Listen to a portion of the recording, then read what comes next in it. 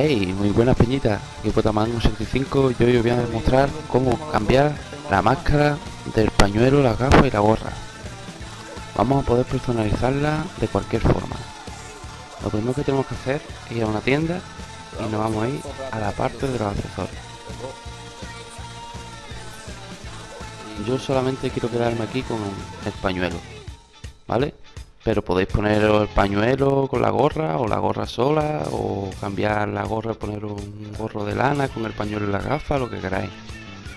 Vamos a entrar en gafas lo único que tenemos que hacer es quitar la gafa podemos seleccionar otras gafas lo que queramos.